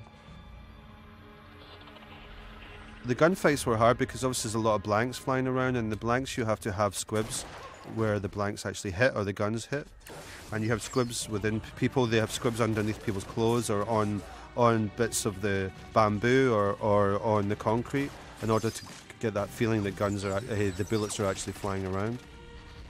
And I tried to do a lot of it. This is all done handheld, so it was all about not necessarily seeing every bit of action. You just miss some of it, or or you get the feeling of it. This is more important. This was a very hard stunt to do with the people falling on the car. We had them on on wires, and they actually did whack against the car. And then we augmented it in CGI by having more glass coming up. And the second guy falling had to fall pretty hard, so we we forced him, we sped him up and made him fall harder into the car. It's important again that, that you you have a moment eh, within your action, and like a breath. It's almost like a little comma within the story that you, you have with your actors, and you remind people that the, the actor is still here and he still has a has a job to do, which is basically to. Then Camilla just wanted to shoot everybody. I remember, and, and I was just gonna say. and she did. She about- shot. She shot a lot of the guns, but we edited it all out. She was so annoyed. Oh, really? and where's Dakota Fanning during all this? I know this In is a like bar my two getting- weeks off. I was like chilling at the hotel Oh, during man. this. This was tough. This was brutal. This was tough. This is a brutal sequence. We also use CGI for underneath with the high shots when you see what's below in that hole beneath them. That's all CGI. It's actually just a black hole. Um, and same outside when you see the lights outside, it was actually just black. It was uh, outside. There was no lights. Obviously, we're in a confined space. And then here's Chris Evans getting thrown around on, on a wire from from quite a, a long way actually, probably about 50 feet which is quite a long way for wire work. And I didn't want the wire work to be like operatic or anything. It has to be quite fast, like there, boom, quite violent. Again, this is all done as one shots almost, like just tr- trying to keep the shots as long as long as you can, and then allow if the editor wants to cut up or if you feel in the edits you want to cut up, then it's our choice. But if you keep each take being long, then you have the opportunity to have more takes, but also um, or, or keep them longer if you want. Because sometimes you don't have to cut it up so much. It's much more impressive when you can keep a shot rolling for a longer time. I think, I think the audience appreciate that a little bit more. I like this rainbow effect. It kind of works. Yeah. Because it feels like it's energy kind of hitting each other. You know, it's, the, it's what you get. I is that. wish I could have been here for this. Why wasn't I in this fall? Probably the union wouldn't let us to have you here with all the dust and everything. no, but it was. It looked like so much fun. I felt like I was missing out. The rainbow effect was done because I liked the idea that this was clashing of energy, and the, the energy, the light, that creates light, because you know you're bending these two energies with, within each other. You get the dispersion of light, and then we have the old gag here with a with a prosthetic in the in the neck. You'll be surprised at how effective that is as well. Great sound work, I've got to say, by the sound team. Again, getting these sounds correct with Pop Boy and Pop Father, not not not making the audience put their fingers up to their ears was a very important part of the. I mean, sound people forget about sound, but this is. I've worked with the sound people before, and they're amazing, and they just bring a lot to the film and a lot of scale to the film as well. We knocked this bamboo, we blew this bamboo up so many times, and never once collapsed. this is good CGI. That's all it did. It moved like, and then stopped.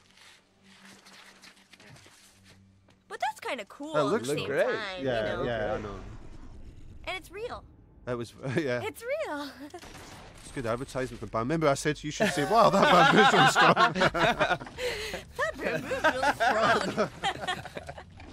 A lot of the situations we used here was in the script, and we, we just, you know, they're kind of interesting scenarios where Camilla Belle's character has got these guys under control, and she's just making them shoot the guns, and they're looking. The, she's like one big machine, you know. And I always liked that. I thought that was pretty cool. Again, as you see the exterior lights there, they were all put in later in CGI. I mean, we never used much green screen or blue screen at all. In fact, only for the car shots, as I mentioned before. So everything was augmented. Basically, we what we did is we just shot it all as we saw it, and then um, the guys and the girls at, Digiscope, which was the, um, the visual effects team, would put it in later on, and I think it's cool because it doesn't look like it's.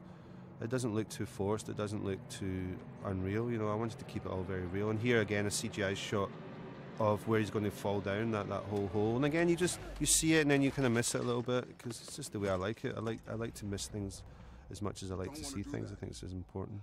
Watch me. Um, and for the actors to to keep acting with all this crap in the air and the dust and all the effects, it's it's better for them to be in the real situation, to be surrounded by the real location. I'd imagine rather than being green screen. And plus, I don't have that good imagination to.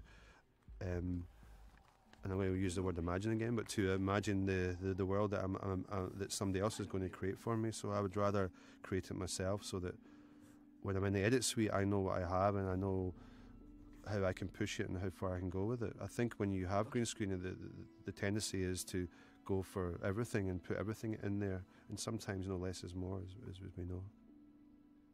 You always, when you're editing this, you're always trying to balance it with making sure the audience are kind of wanting and willing her to snap out of it. Yeah, sure.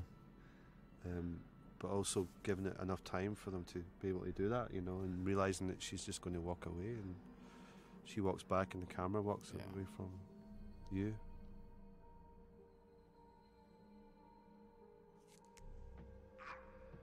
Do you remember we were saying how we? I don't know if I could like just inject myself like knowingly. I, I I mean. That's a good thing, Dakota. Yes, Dakota. You No, with but that. you know, like, you can take he you can just take a does drink it. now Nick and then, but just don't. go- Yeah, he goes for it, doesn't he? Nick just goes for it.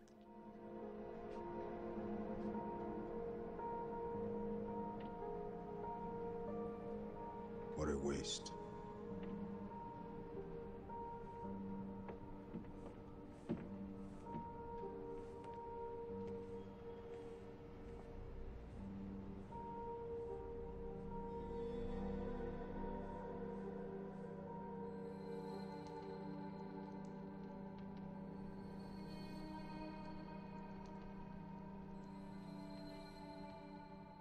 This was tricky, trying to get the water to fall just right. These shots just to get yeah. just a little bit of a trickle. Yeah. It it proved to be pretty challenging. Yeah, rather than having like what looked like a horse pissing on you or something.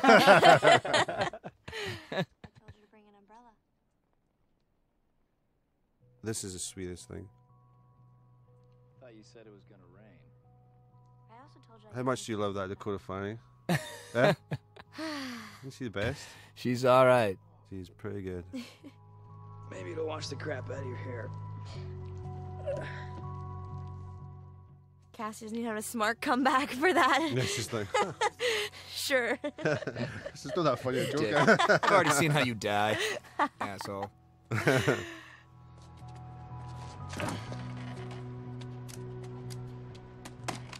Limp is back. The limp has come The back. Limp- Limp is the limp effect is now. back. We should have said to him, do you really have to do the limp thing? We have I to mean, limp? come on. You know, get chucked around through bamboo. There's got to be some sort of show. This is the key, Nick. Division will do anything to keep this from getting into the wrong hands. So we trade your mom for the drug? I'm still working on that one. We'll figure it out. I smell a sequel coming on. what do you think? What happens? soy sauce. What does happen if you inject yourself with Night Dragon soy sauce? Ah, you just probably inject yourself too much You salt. just kind of crave some egg rolls. all of a sudden. Please don't try that at home.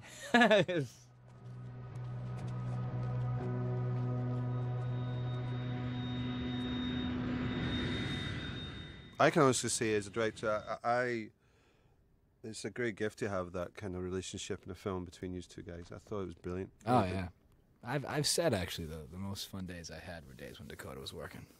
just because she loves my jokes so much. she just couldn't stop laughing all day. Couldn't stop. I couldn't control. Couldn't control it. It was like Dakota. Enough, please. Enough. I know I'm funny, but please, we're here to work. Start to doubt the truth.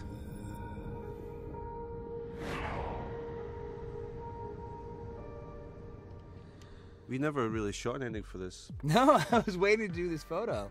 Is this like This that's is the a one real from picture the yeah from the nightclub from Shh, Hong Kong? it's not Coney Island at all, people. but then I woke up one night and I said, "Oh, I think we should kill Carver." And I was we had no images for it, and then suddenly I realised that we had to zoom into the eye, and it'd be so much better if you hear her her telling him to Yeah. put the gun in the mouth. Yeah. So it kind of works, but I must say that was never there to start with. There you go. Camilla, you're So ruthless. that was push for you with myself, Paul McGuigan, Dakota Dakota Fanning. Fanning. Chris Evans. I think it's quite poignant that we're all sitting here in Los Angeles and that we're here for a reason, which is to comment on this film Push, which was actually um, was sent to me and was a project that was very passionate to a, a producer called William Vince, Bill Vince as we like to call him, who unfortunately um, passed away while we were doing the post on the movie. And I just would like to give my respects out to Bill because without him, Dakota wouldn't yeah, be here. Yeah, I had a, that was I met with Paul and then I met with Amy Gilliam and and Bill and um, of course you know they made me want to do the movie even more than uh, than I did when I read the script. So yeah, it's really terrible that he passed away, but he it's great that I got to know him. And he was always a great. Uh, he always knew Bill was around uh, when he Yeah. was on set and stuff. Likewise, great guy and, and, and a smart man, and, and it, it really is. It puts things in perspective. It's it certainly does, and we would like to dedicate this film to, to Bill Vince, his family, and um, it all does make life a bit more perspective, I suppose, when you when you understand that you know we, we are fortunate enough to make a, a, a film, and thanks to Bill, we were fortunate enough to, to do that.